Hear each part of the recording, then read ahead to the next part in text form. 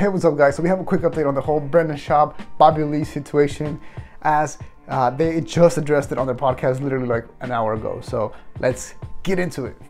So if you follow the Fighter and the Kid podcast, or if you don't, you can go ahead and watch it because they address it literally like the first 15 minutes, so you can go hear from them directly. But I'll summarize here what happened. They just dropped their latest episode. It was an hour and 30 minutes, and Bryan Callen right off the bat, the first 20 minutes, he talks about the entire situation with Bobby Lee and Khalyla. And it's pretty goddamn interesting. It's a good perspective. The entire thing was not addressed. Brendan Schaub did not address if he was trying to hit on Khalyla or if he tried to pick up Annie Letterman. He also didn't uh, clarify the whole lawsuit situation, in my opinion. But let's get into it.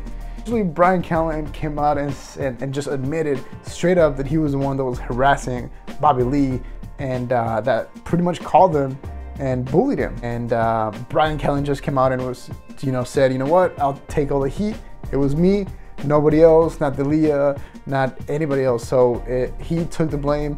He specified that it was him that called Bobby, uh, talked some shit, and then essentially bullied him because of what he thought Bobby Lee was uh, doing to, to Brendan Schaub. Now we'll get to that in a second, okay? Bryan Callen apologized to Bobby Lee. He accepted the apology, but didn't really want to talk to him. So now we go back to the situation where Brendan Schaub and his team, also Bryan Callen, they thought that Bobby Lee and his team, the Tiger Belly team, were uh, responsible for the Reddit, the subreddit that is fully dedicated to just trashing Brendan Schaub, right? We, we've, we've all known about this subreddit. A lot of shit comes from it. And, and what Brendan Schaub mentioned was that they actually go to his uh, you know companies that he works with, business partners, etc., and, and, try to harass them as well, which is, as we know, it's fucked up. A lot of you, you know, that's a, that's very common in the YouTube community where somebody with a large following can just go ahead and use their following to fuck, you know, to get somebody to to get somebody's uh, sponsors to drop them and stuff like that, which I think, in my opinion, is not, you know, really the best way to go ahead and uh, to go about some things, especially not if you're trying to do it anonymously through a subreddit and then not directly, because I think that's kind of a pussy move. But we'll get to that. That's what Bryan Callen was mad about. He thought that the subreddit that for the past five years has, had been harassing uh, Brendan Schaub, he thought that Bobby Lee and his team were, were part of it. And he didn't wait for confirmation or anything. Now, something very interesting is that Brendan Schaub actually mentioned that he will be going on Tiger Belly to pretty much clarify the whole thing.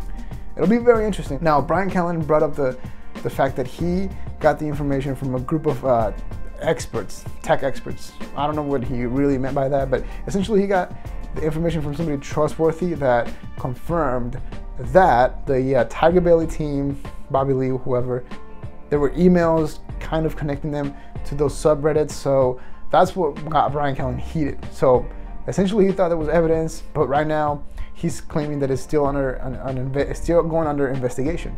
So for now, they believe Khalyla and, and, and, Bobby Lee, and they are apologizing for what they did. And Brendan Schaub is going to the Tiger Belly podcast to talk about the situation. It'll be very very interesting because here's the thing. Khalyla asked uh, Brendan Schaub, you know, okay, so if you find out that it is coming from us, like, what do you what do you want us for, to do? And Brendan Schaub said that you know to just stop to just stop and that's all they wanted. And what Bryan Callen mentioned was that uh, as soon as they confronted Bobby Lee about the situation with the subreddit, it stopped.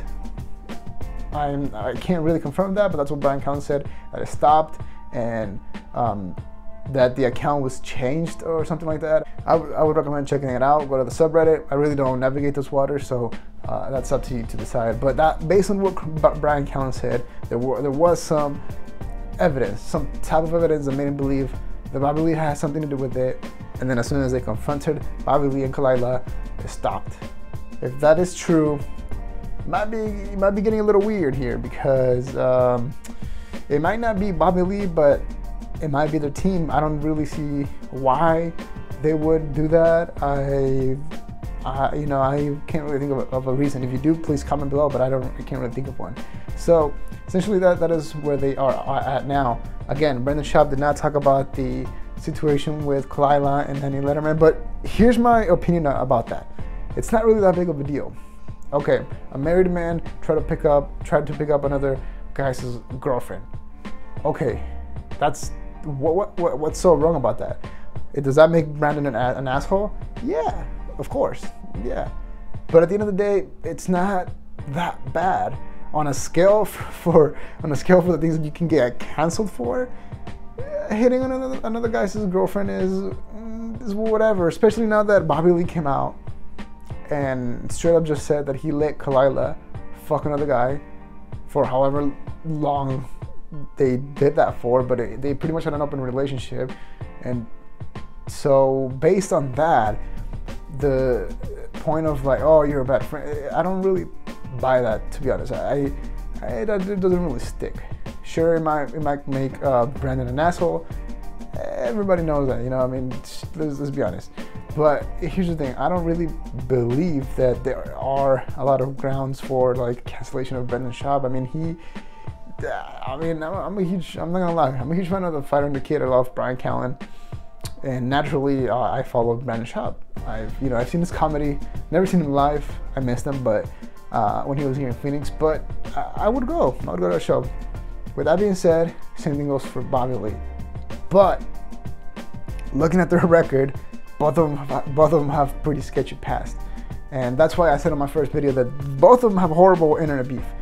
Also, Bryan Callen. I mean, you know, they all three of them have don't have a clear winner, like a winning record online. Um, they've, you know, they've been under the attack this whole time. So that's the update for now. They addressed it on their podcast, and if you want to go see it for yourself, it's on the Fighter and the Kid. They already uploaded the video version on YouTube, so go ahead and check that out. And um, as of now, I guess just wait for them to go on the Tiger Belly. That is going to be very interesting. Hopefully, they call each other out. Some good shit happens, and then um, it can either be squashed and then everything's happy from now on and then I, I cancel and then I just shut down this channel.